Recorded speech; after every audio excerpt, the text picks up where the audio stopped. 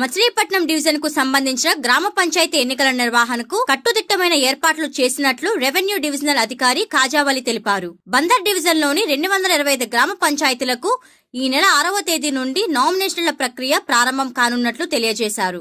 నామినేషన్ల స్వీకరణ పోలింగ్ ఓట్ల లెక్కింపుకు అవసరం మేర సిబ్బంది నియామకం చేపట్టామన్నారు. ఆ వివరాలను Bandar RDO MS K Kajavali మీడియాకు వివరించారు. గ్రామ పంచాయతీ ఎన్నికలు రెండు వేల ఇరవై ఇరవై ఒకటికి సంబంధించి మన మచిలీపట్నం రెవెన్యూ డివిజన్కు నిన్న స్టేట్ ఎలక్షన్ కమిషన్ వారు నోటిఫికేషన్ విడుదల చేయడం జరిగింది.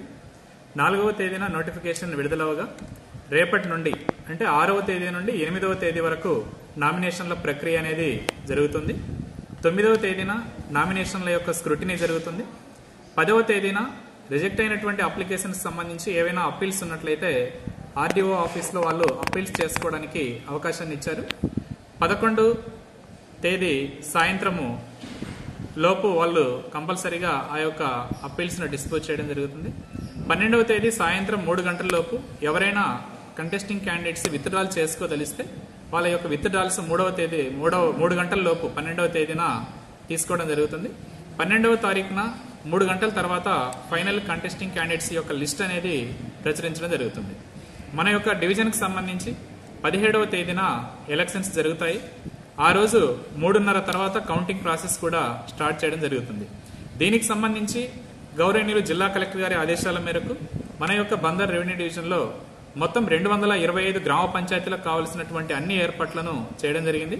రెండు వందల ఇరవై ఐదు గ్రామ పంచాయతీలకు గాను నాలుగు గ్రామ పంచాయతీలను మేజర్ గ్రామ పంచాయతీలుగా నిర్ధారించడం జరిగింది. అంటే ఆ నాలుగు గ్రామ పంచాయతీల్లో సుమారు పదివేల కంటే ఎక్కువ జనాభా ఉన్నారు. అవి చల్లపల్లి మండలంలో చల్లపల్లి మరియు లక్ష్మీపురం అదేవిధంగా అవనిగడ్డ కోడూరు. ఈ నాలుగు గ్రామ పంచాయతీలు పదివేల కంటే ఎక్కువ జనాభా ఉండటం వల్ల ఇక్కడ రిటర్నింగ్ ఆఫీసర్లను నియమించడం జరిగింది. రిటర్నింగ్ ఆఫీసర్ అంటే స్టేజ్ వన్ స్టేజ్ టూలో చేయాల్సినటువంటి డ్యూటీ మొత్తం కూడా వారికి అప్పగించడం జరుగుతుంది. మిగిలినటువంటి రెండు వందల ఇరవై ఒకటి గ్రామ పంచాయతీలకు గాను స్టేజ్ వన్ రిటర్నింగ్ ఆఫీసర్లను అదేవిధంగా స్టేజ్ టూ రిటర్నింగ్ ఆఫీసర్లను కూడా నియమించడం జరిగింది. మొత్తం మీద స్టేజ్ వన్కు సంబంధించి వంద మందిని అదేవిధంగా స్టేజ్ టూకు సంబంధించి రెండు వందల యాభై మందిని రిటర్నింగ్ ఆఫీసర్లుగా నియమించడం జరిగింది. అదేవిధంగా ప్రిసైడింగ్ ఆఫీసర్స్ మరియు ఆ అసిస్టెంట్ ప్రిసైడింగ్ ఆఫీసర్లను కూడా మేము ఏర్పాటు చేశాము. మొత్తం ఐదు వేల మూడు వందల మందిని పీఓస్ మరియు ఏపీఎస్గా డ్యూటీలు అలాట్మెంట్ చేసి వారికి ఎనిమిదవ తేదీన ట్రైనింగ్ ఇవ్వడం జరుగుతుంది. డివిజన్ మొత్తం మీద రెండు వందల ఇరవై ఐదు గ్రామ పంచాయతీల్లో నలభై రెండు గ్రామ పంచాయతీలను హైపర్ సెన్సిటివ్ ఏరియాలుగాను అరవై ఎనిమిది గ్రామ పంచాయతీలను సెన్సిటివ్ ఏరియాలుగాను మేము నిర్ధారించాము. అదేవిధంగా పోలింగ్కి కావలసినటువంటి మెన్ అండ్ మెటీరియల్కి సంబంధించినటువంటి అన్ని ఏర్పాట్లను ఇప్పటికే చేసి ఉన్నాము. పదిహేడవ తేదీన జరిగేటటువంటి ఎన్నికలు ఫెయిర్గాను అదేవిధంగా ఫ్రీగాను ఎటువంటి ఇబ్బందులు లేకుండా ప్రశాంతంగా జరపడానికి కావాల్సినటువంటి అన్ని ఏర్పాట్లను మేము చేయడం జరిగింది. అయితే మన రెవెన్యూ డివిజన్లో ఒక నాలుగు విలేజెస్ మాత్రమే ఇన్యాక్సెసిబుల్ విలేజెస్ ఉన్నాయి. అంటే వాటికి రోడ్డు సదుపాయం లేనటువంటి విలేజెస్ అవి నాగాయలంక మండలంలో నాచుగుంట ఎదురుమొండి మరియు ఎలిచెట్ల దిబ్బ. అట్లాగే చల్లపల్లి మండలానికి వచ్చేసి ఆముదార్లంక అనేది ఇన్యాక్సెసిబుల్ విలేజ్గా తీసుకోవడం జరిగింది.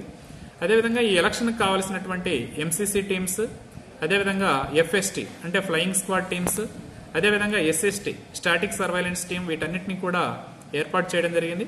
మైక్రో అబ్జర్వర్స్ని కూడా సుమారుగా నూట ఇరవై మందిని ఏర్పాటు చేశాము సెంట్రల్ గవర్నమెంట్ ఎంప్లాయీస్ను. వీరికి కూడా మేము పదమూడవ తేదీన ట్రైనింగ్ ఇవ్వబోతున్నాము. ఏదేమైనప్పటికీ మొత్తం రెండు వందల ఇరవై ఐదు గ్రామ పంచాయతీల్లో ఎటువంటి ఇబ్బందులు లేకుండా ఫ్రీ అండ్ ఫెయిర్ ఎలక్షన్స్ జరపడానికి మా వంతు కృషి చేస్తాము. అదేవిధంగా మాకున్నటువంటి డిఎల్పిఓ ఆఫీసు ఆర్డీఓ ఆఫీసు ఇతర ఎంపీడీఓ ఆఫీసెస్ అదేవిధంగా పోలీస్ డిపార్ట్మెంట్ కోఆర్డినేషన్తో ఈ యొక్క గ్రామ పంచాయతీ ఎన్నికలను ఫ్రీ అండ్ ఫెయిర్గా జరిపేటట్టు కృషి చేస్తాం.